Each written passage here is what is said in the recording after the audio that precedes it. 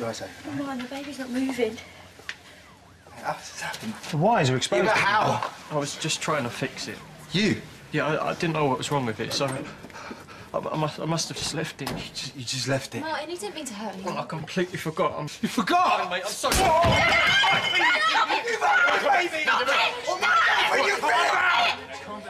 Hi, my name's Tom. This is Holly. We're going to look after you, okay? Oh. Just going to ask you a few questions and then we'll get you to the hospital, all right? Just look after her, mate. Tell me when you touch the electrics, all right? Okay. Any numbers? Pain?